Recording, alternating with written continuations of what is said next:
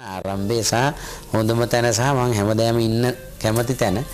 චිත්‍රපටි නම් මම පහක් හයක් වගේ තමයි කරලා තියෙන්නේ. ටෙලි නාට්‍යයත් හැබැයි මතක හිටින චරිත කරලා තියෙනවා. ඔව්. ටෙලි නාට්‍ය වලත් මම හිතන්නේ 15ක් වගේ තරම තමයි මේ කාලේදී මම රඟපාලා තියෙන්නේ. නමුත් වේදිකාවේ නම් නාට්‍ය 45ක විතර මම දායක වෙලා තියෙනවා. ඉදිරියටත් වේදිකාවටම තමයි වැඩිපුර යොමු වෙන්නේ පුළුවන් ඒ වගේම රෝග ලක්ෂණ නැතුවත් අ, ගබ්සා වීමක් තියෙන්න පුළුවන්. හැම විටම රුධිර වහනයක් අ, ඇතිවීම සිදුවන්නේ නැහැ.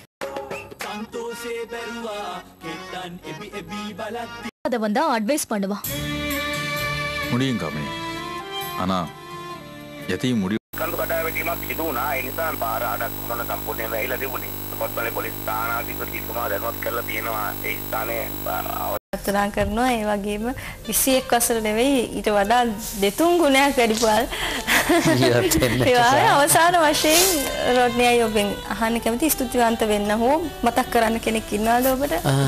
මම මගේ ආදරණීය දෙමාපියන් මගේ බිරිඳගේ දෙමාපියන්